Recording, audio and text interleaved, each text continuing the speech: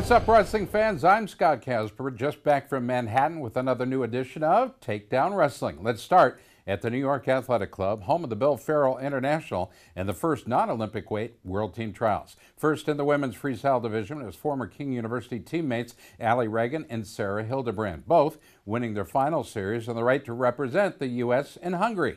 Hildebrandt took out the top-seeded Kelsey Campbell in the 55 kilo semis and then met up with three-time World Team member Whitney Conder.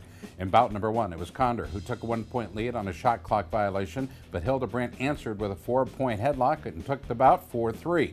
With the score tied at one in the second, Hildebrandt hit another front headlock and swept the series 3-2. Today's been a crazy day. Um, my weight class is stacked. Like the number six girl and the number one girl, all everyone in between can like beat each other. So yeah. I wasn't worried about seeding because I knew I was gonna have hard matches all the way through.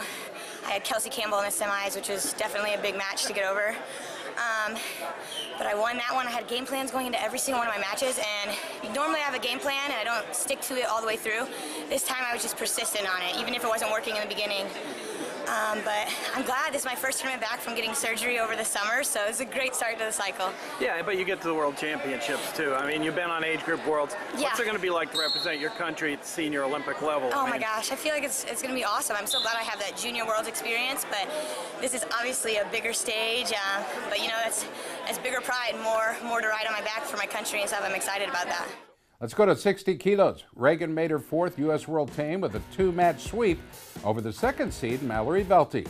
In bout one, Ragan hit a four-point hip toss and tacked on two more takedowns for an easy 8-2 victory. Ragan ran out to a three-point lead in the second match of the series. Velte fired back but was just unable to connect. 4-1 the final for Ragan. I mean, obviously you were disappointed with the Olympic trials, and yeah, you know, but you got right back out here on the mat when they said another World Championship opportunity. Yep. You jumped at it. Talk yeah. about how you wrestled. Um, I thought I wrestled good. I think that there's definitely a more, lot more to do. I want to be a world champ in December, so I think that building and definitely keep switching out my offense, moving my feet, just wrestling throughout the whole six minutes is crucial. So I think that there's a play. I kind of did that today, but I definitely need to enhance that and do that more. So I'm never satisfied. Definitely going back to work. In men's freestyle, world bronze medalist James Green earned an automatic berth to the championship series where he faced the second seed Jordan Oliver. Green scored on a step out and a shot clock violation for a 2-1 decision and then hit a counter ankle pick midway through the second match to clinch the series 4-3. You know, you just kind of do what you know you can do best because sitting in the finals, you never know who you're going to get. So, I mean, once we knew we were going to wrestle Jordan, we watched a little film, but really change the game plan, just try to get out there. He got going more than I did in the second match, but I had some good leg defense and you know kept my ground, kept my position aware of the mat, so it was definitely a good match and prepare for the World Championships. And here's about everybody hoped was going to happen. Another one versus two matchup at 61 kilos. Logan Stieber met up with former Big Ten foe Tyler Graff. In the first match, Stieber hit three takedowns and two gut wrenches for the Tech. More the same in the second, two takedowns and three turns. Stieber took the series and was named the outstanding wrestler for his performance. Well, you dominated. I mean, your matches, you were able to score a lot of points. How'd you feel out there when you were wrestling? It's a different set of kids in most yeah. cases, right? No, I felt really good. I felt there's one period that I, uh, I didn't feel the best today, but besides that, you know, I, I recovered fast and I felt good, and you know, the weight cut was good, and I was felt great today. So I felt felt good. You know, I felt good to be back at a, uh, a weight that I, I liked a little better. Let's go to the Greco-Roman division at 71 kilos. Alejandro Sancho and Christopher Gonzalez traded wins to open the series. In the deciding third, Gonzalez scored on a late counter and punched his ticket to the World Championships. 4-1 the final. Christopher Gonzalez going to the World Championships, man. Talk about the feeling when you saw you had the lead and and the time was going away. Man, first I just want to congratulate Sancho. He's a hell of an opponent. Oh yeah, great series. He's uh been a teammate of mine and a competitor now for quite some time, so uh, shout out to him. But um, feels great, man. I haven't been in this situation before. First senior tournament win for me. Hopefully, uh, a lot more to come. So. Finally, at 80 kilos, 2015 World Team member and number one seed Patrick Martinez met with Army teammate John Anderson. Martinez took the first match on a pair of passivity calls 3 1, and then Anderson evened the series with a four point toss 4 2, leading 2 1 with just 20 seconds left in the third. It was Martinez who had to take down on the edge of the mat and held on for the exciting 4 1 victory. What was the key here? Was it technique? Did you have a better conditioning? I mean, somebody had to come out of that. It was a war. I mean, It was a battle, guys. it was a fight. And that's his style. He's a brawler. Uh, he wants to get in there and just hand fight. I don't know how, if that's really wrestling. It's not very technical, but uh, it'll win him some matches. So I had to control the pace, control positions, and uh, go from there. All right, stay tuned for college highlights and a lot more. You're watching Takedown thanks to Casey's General Store.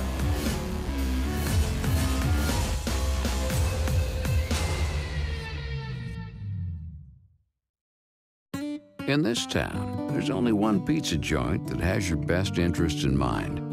They make every single pie from scratch, the freshest ingredients, 100% real mozzarella. Oh, and if your engine's running a quart low, well, they can take care of that too. Casey's, famous for pizza.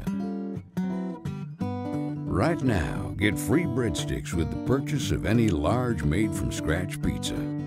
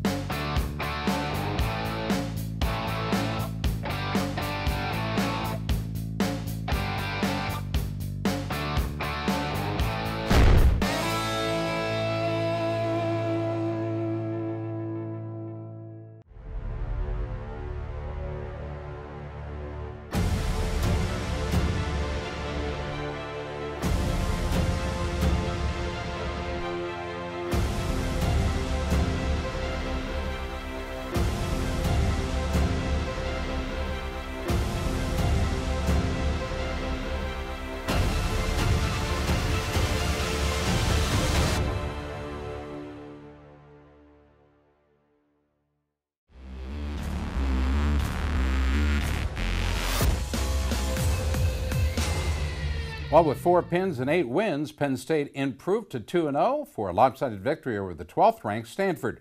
The duel started at 165, where redshirt freshman Vincenzo Joseph dropped a high scoring 18 12 decision to Keaton Subjeck. At 125, true freshman Nick Suriano racked up nearly three minutes of riding time in his rec hall debut. He downed fourth ranked Connor Schramm 3 0.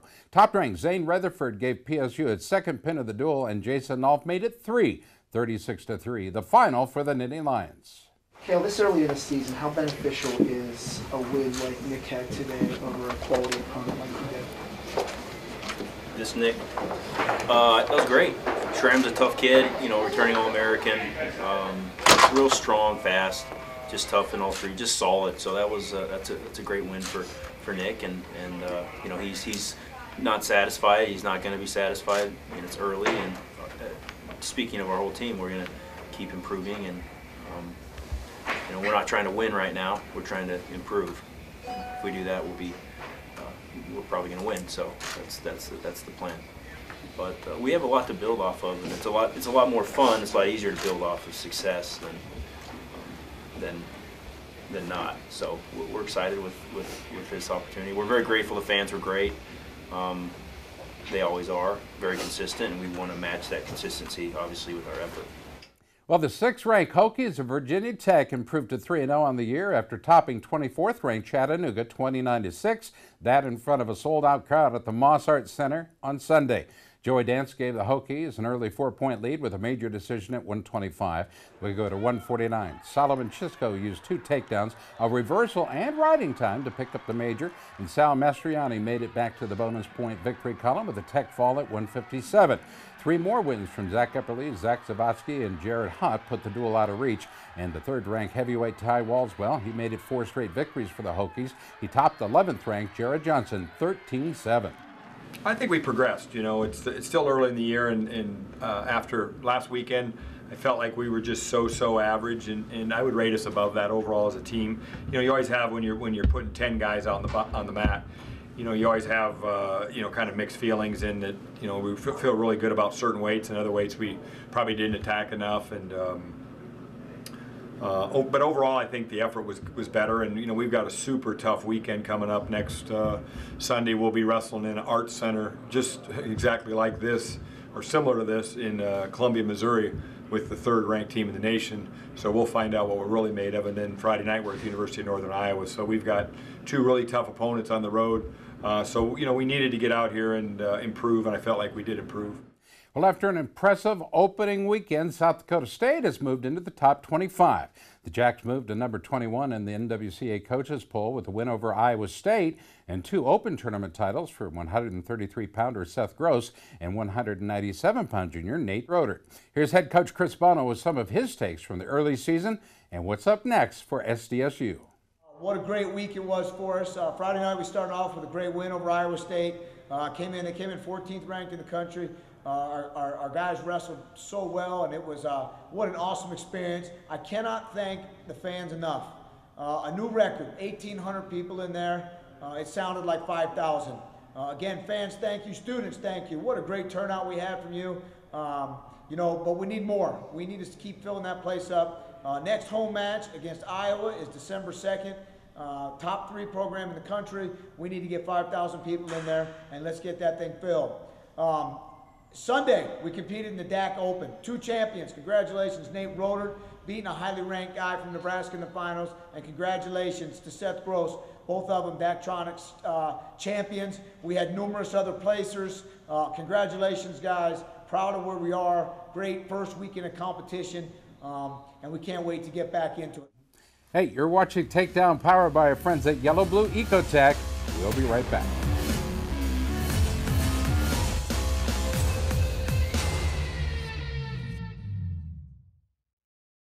Yellow Blue wants to show you global energy demands are expanding at an alarming rate. Power grids in the U.S. are aging while coal plants continue to close at record rates. Utility rates are at an all-time high and there's no end in sight. If this concerns you, call Yellow Blue, delivering products and services that are not only green but cost effective. You can be independent, safe, and secure. We'll show you how at yellowbluetech.com. At Cookies, sauces and seasonings are business, but food is our passion. Our secret ingredient is Cookies Flavor Enhancer and All-Purpose Seasoning. It makes pretty much everything taste better. You can use it on meats and in marinades, veggies and seafood. Try it on pasta and even popcorn. Pick up a bottle at your local grocer and enhance the flavor of your favorite foods. For more ideas and recipes, visit cookiesbbq.com.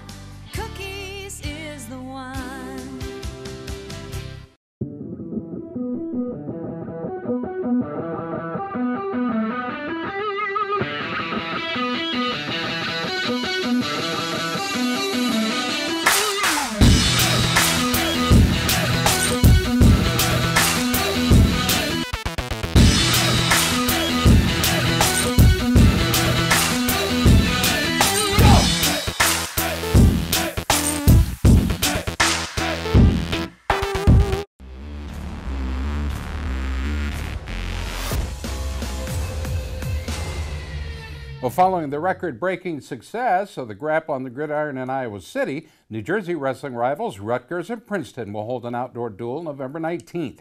The first ever battle at the birthplace will take place prior to the Penn State Rutgers football game at High Point Solutions Stadium as the Scarlet Knights look to shatter a season attendance record in a single duel. I think the best thing about being in Jersey is we're able to do this in front of, you know, hopefully 20,000 people. You can't do that everywhere. You know, you could do it in State College, Pennsylvania. You could do it in Stillwater, Oklahoma. Maybe you could do it in Minnesota. And obviously, you can do it in Iowa, but you can do it in New Jersey.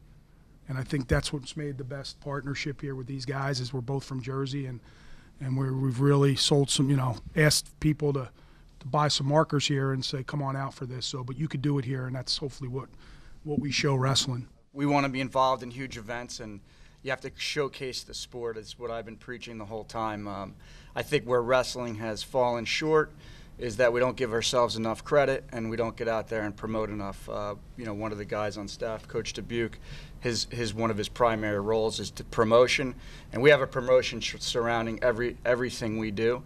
And now that we've done this, I think it just says to everyone else, you know, you can do these things. You can get 15,000 people, 30, 20, 30,000 people to a wrestling event if you do the right things leading up to it. Doesn't have to be like a high school gym with 12 people. You can promote it and what's really going to draw people I think are the matchups like he said. This this duel is going to be it's going to be a good one. And if you look at our programs, we've kind of been on a pretty steep trajectory right next to each other. And so this is a big moment for both of our teams. This is a really exciting event. Um, none of us on our team has ever been able to wrestle in front of this many people at one time and outside in front of, in a football stadium. So uh, it's just really exciting. It makes it uh, a lot easier to train for, a lot easier to get up for, and everyone's really excited to be a part of it. We really want to be known as the best sport at Princeton University, and I think this can really put us there. Well, for more information on the battle at the birthplace, look for scarletknights.com. You can watch the event live on Flow. On our way to break, here's USA Wrestling's Take 10 with Tony Ramos. You're watching Takedown thanks to Adidas. Who's your celebrity crush? Carrie Underwood. If you could have any superpower, what would it be? Uh, Iron Man's my favorite superhero, so I guess just to be as smart as Tony Stark was. If you could have dinner with anyone dead or alive, who would it be? Abe Lincoln. What's your favorite TV show? I've been watching Parks and Rec a lot. That's good. Um, what actor would play you in a movie about your life? Um, I would probably say my favorite actor, and that'd be Morgan Freeman. But uh, who, who would probably play me? I would say Mark Wahlberg. What's your favorite video game and who would you challenge in it? Madden. Um, I'd probably like to play someone who, who's in the pros, uh, maybe Tony Romo. Do you have any hidden talents? I do not. I don't have any hidden talents. What's your guilty pleasure? Uh, I like ice cream a lot. Uh, I just got some last night, actually. If you could read one person's mind, who would it be? My wife's.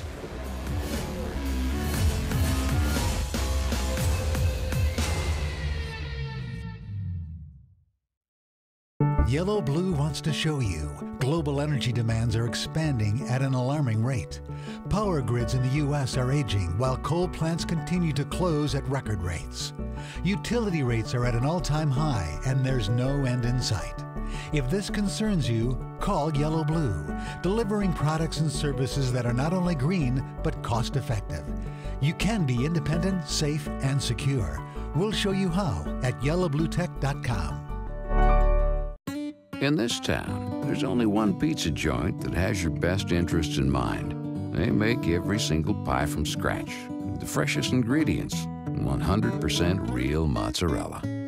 Oh, and if your engine's running a quart low, well, they can take care of that too. Casey's, famous for pizza. Right now, get free breadsticks with the purchase of any large made from scratch pizza. For generations. No amount of bravery and conviction could end the infected, unyielding rage. And with every battle, the evil grew, changed, evolved. The warriors needed nothing short of a miracle to stop the infection, and a miracle they received. Your body is at war against skin infections and diseases each time you step onto the mat. Protect yourself against the invasion. Defend so, defend what you have built.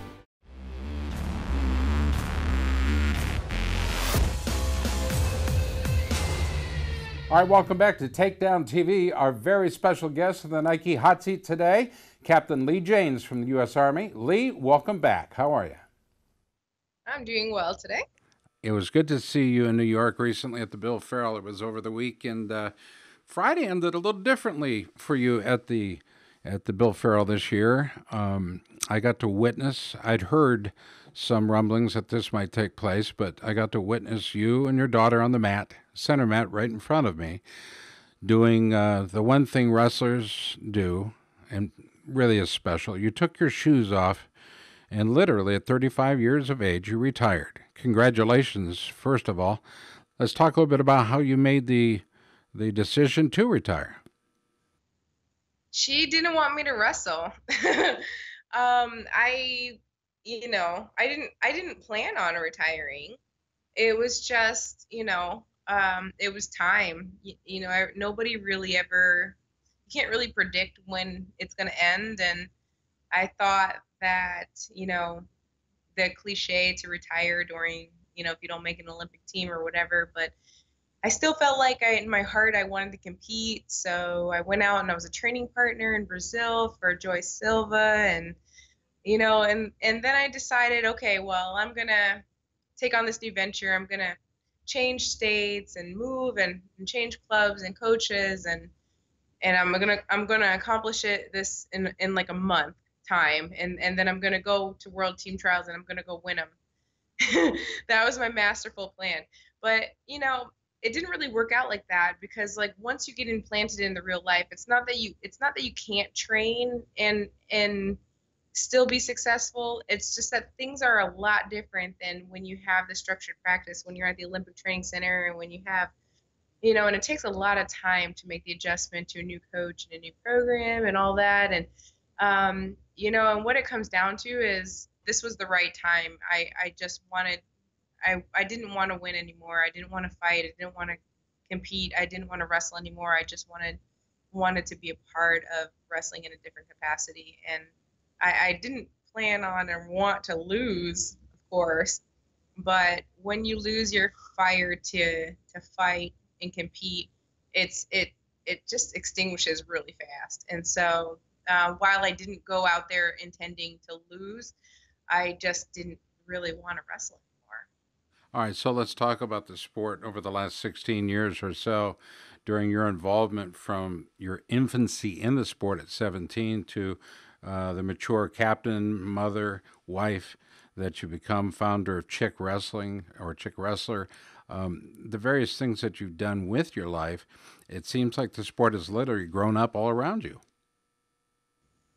Can yeah, you... I, I didn't even honestly know what I was getting myself into. I, I was just looking for an opportunity to go to college. I didn't have a lot of resources so I would fight and not look back. And some of the girls at the group home were like, "Man, to the girl that that took off and never looked back. And I um, I just didn't want to look back and and just keep taking steps forward in order to to get better. And it turns out that I have a lot of irons in the fire. Now that I put my shoes in the middle of the mat, I'm realizing how much I've actually accomplished along the way, and it blows me away. But I can't stop now because obviously, I mean, I have I want to get to the point where I'm extremely financially stable. Um, I still have like seven more years or five or seven more years that I can serve in the military and get a lot accomplished. And um, they they have a post 9/11 GI Bill. I want to expound upon that. And I also have hopes of starting a Northeast Regional Training Center out in Maine. So there's a lot of things for me to, to dig into. And um, you know, it seems like 17 years was a long time to have a wrestling career, but it just flew by. And I know that the next 17 are going to fly by too. So if I don't get moving like tomorrow, then I'm not going to get done in time. Leigh, congratulations on a career well wrestled. Next up for you, just a career of coaching, a career of giving back. Out there that can help me. I have tons of mats, I have tons of space, I have tons of builders I just need, um, you know, we, we have the resources in order to to put it up. Um, I just need to get the funding. So if there's anybody out there that's interested in helping me with this project, I have all the resources to get it going. I'm going to start some grant writing over the next month, and uh, we'll see how close we can get to to being able to to put up this facility. But I would really love to get a, a Northeast Regional Training Center up and running so that the girls from Massachusetts the the athletes, not just girls, all athletes from from the surrounding areas um, can come and use the facility out there, and um, I think that would be a huge contribution in that particular region um, to the United States of America for wrestling. So that is a huge goal of mine. I think it's a five year plan. I know I can make it happen. if you put your your mind to it, you you've never disappointed me in the past. You always get it done. I've never not followed through. I've never not followed through. There isn't anyone, not one thing that I put down on paper as a goal that I haven't followed through with. So I know that I can do this. I know I can make it happen. Leigh Jaynes, thank you for your time.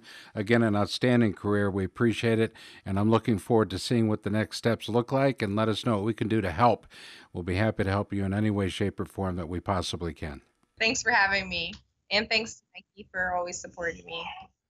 Big shout out to our friends at Virginia Tech, Rutgers, Penn State, and of course USA Wrestling. Don't forget to join Tony Hager and I later this week for Global Wrestling News and tune in Saturday morning for the longest running wrestling radio show on the planet.